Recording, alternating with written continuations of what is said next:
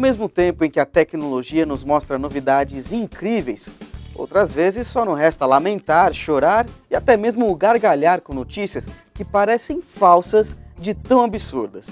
Por isso o Tecmundo preparou uma enquete especial. Qual foi a maior bizarrice que você viu em nosso site durante o primeiro semestre de 2011?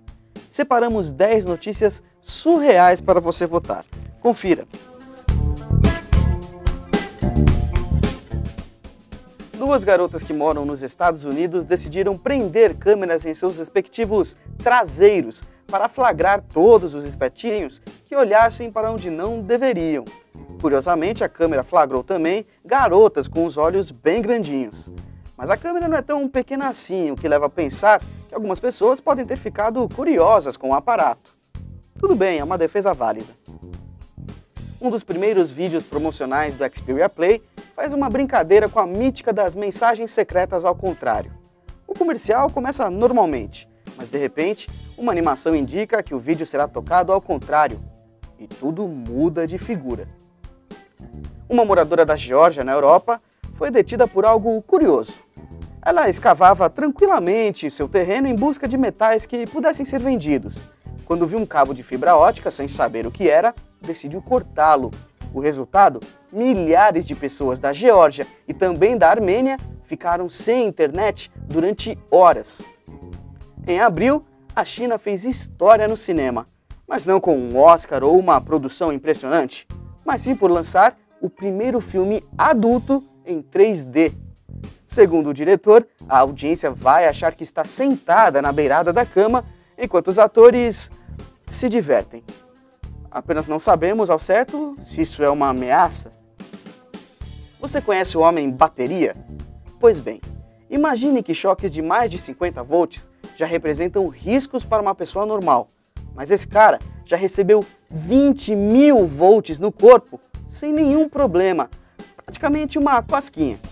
Isso é possível graças a um defeito genético, e o Sérvio já figurou duas vezes no livro dos recordes por sua capacidade incrível. Produtos Apple levam consumidores à loucura, mas essa foi demais. Um jovem chinês, identificado como Zeng, vendeu um dos rins para comprar um iPad 2. Ele encontrou um anúncio na internet para a compra do órgão, aceitou, teve o rim removido e recebeu a quantia combinada. Quando chegou em casa com o notebook e o tablet, a mãe desconfiou.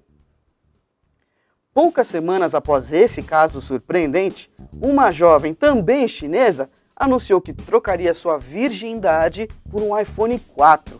Ela fez a oferta em um site chinês semelhante ao Twitter. Muitos usuários condenaram a atitude, outros acreditam que o perfil dela pode ter sido invadido. Um pesquisador japonês desenvolveu um método para transformar materiais derivados de dejetos humanos em carne, que poderá ser menos calórica. A aposta do inventor é de que esta pode ser a solução para substituir a carne de animais. Então, bom apetite! Ou não. Um designer britânico achou que a relação entre humanos e criaturas robóticas carecia de um pouco de realismo então ele decidiu criar uma axila robótica, extremamente realista, capaz de secretar suor e até mesmo reproduzir os cheirinhos nada agradáveis. O robô tem até pelinhos. Até o momento, o sovaco eletrônico não passa de um protótipo e não deve ser empregado de forma abrangente em um futuro próximo. Nosso último candidato tem umas palavrinhas para nós, por favor. Não entendeu? Explicamos. Esse robô foi criado na Universidade de Kagawa, no Japão, para simular a voz humana sem softwares muito complexos. O que ele faz é simular os órgãos vocais humanos. O problema é que tanto o visual quanto o barulho são bizarros. Esses foram nossos nobres candidatos à maior bizarrice do primeiro semestre de 2011. Agora você clica no link que está na descrição do vídeo para poder votar. Continue ligado no Baixa Aqui, no Tecmundo e não deixe também de acompanhar nossos vídeos. Até o próximo!